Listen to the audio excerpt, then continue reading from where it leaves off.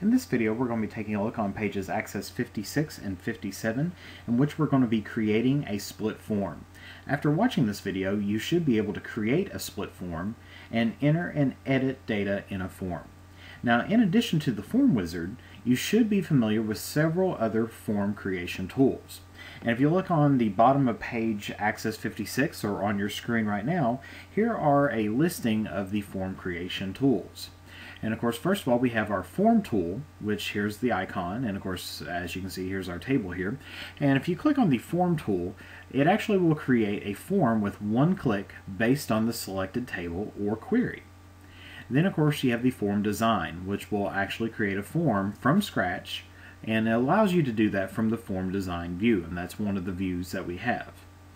And then of course we have the blank form which allows you to create a form from scratch in the form layout view. Then we have the form wizard which is what we uh, used in our last video which creates a form by answering a series of questions provided by the form wizard dialog boxes. Then we have the navigation tool, which will create a form uh, which is used to navigate or move between different areas of the database. Then we have the More Forms button, and this will help you to create different types of forms. And that's going to be based on either multiple items, data sheet, split form, modal dialog, pivot charts, or pivot table arrangements. And then we have the one which is inside of the more forms that we're going to be using, and that is the split form. And this is going to be a form that is going to have two panes, and which the upper pane is going to show one record at a time.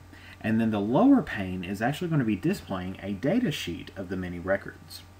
So if we take a look now at our Access database, and if we take a look at step one, it tells us that we want to go into our navigation pane over here and we want to click on the customers table. Now we don't want to open it up, we just want to click on it. Once we click on this, we want to click on the Create tab on our ribbon. Once we click on that Create tab, we want to go here to our Forms group, and we want to click on More Forms. Once we click on the More Forms, we want to go here to the Split Forms, and that's going to be the one uh, type of form that we're going to create in this video. When we click on the split forms, it's going to go ahead and create our split form. And as we've noticed before, and as we mentioned just a second ago, it's a two-part form where the top part shows one record at a time, and the bottom part is going to show multiple records. Now, of course, if a field list uh, appears on there, you can actually go ahead and close that out. Uh, you can click the Add Existing Fields button in the Tools group on the Design tab to close the field list if it opens. Or you can click on this Close button right here and that's going to close the field list because we don't need that right now. Now the customer's data appears in a split form with the top half in the layout view.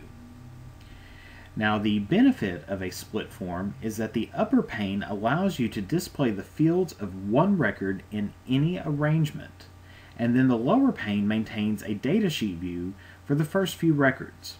Now if you edit, sort, or filter records in the upper pane, the lower pane is automatically updated, and then of course vice versa. If you do anything in the lower pane, that's going to be affected in the upper pane as well.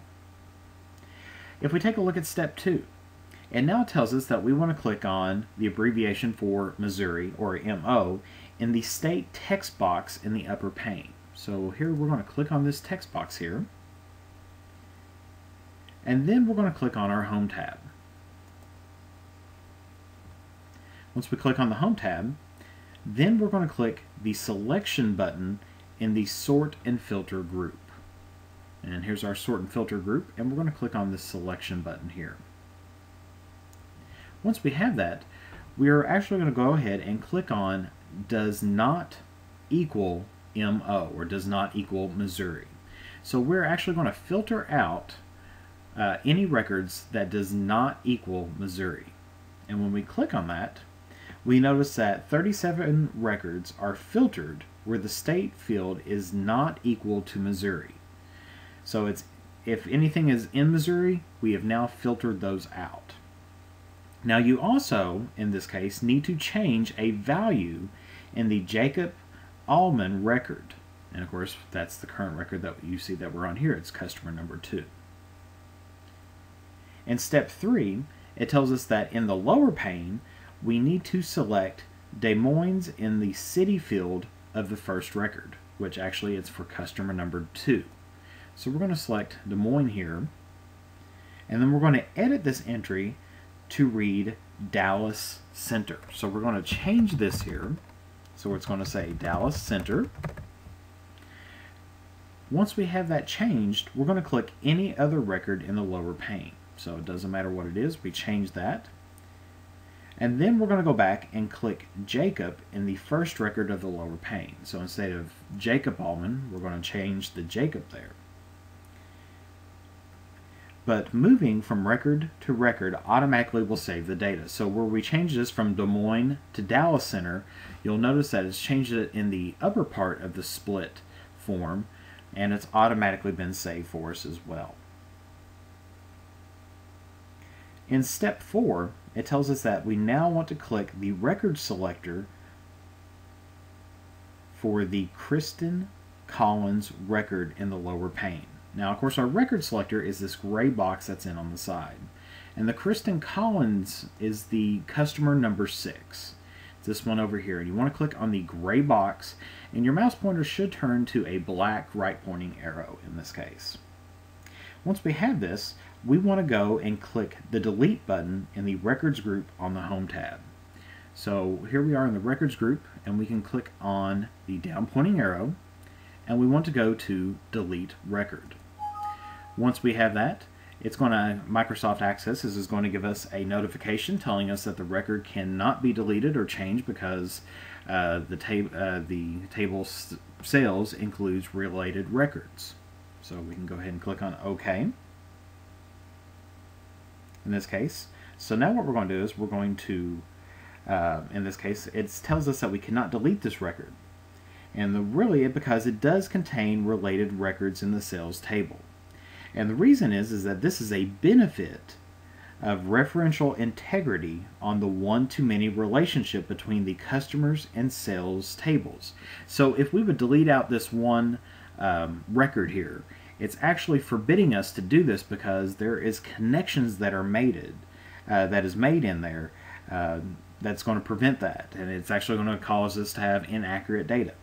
Now, referential integrity prevents the creation of what we call orphan records. And these are records on the many side of a relationship, which in this case, the sales table, that do not have a match on the one side. So on the one side, we have this customer, Kristen Collins. And Kristen has bought some items, which is now, uh, those sales are recorded in the sales table. If we would delete Kristen Collins out, there's nothing on the sales table to tie it back to the customers table, so it's just kind of left out there. So we notice that we cannot delete out that record. So if we moved on to step 5 and clicked on OK, we realize we can't delete this record. So continuing on with step 5, we're going to right click the Customers Form tab. And then we're going to go ahead and click on the Close.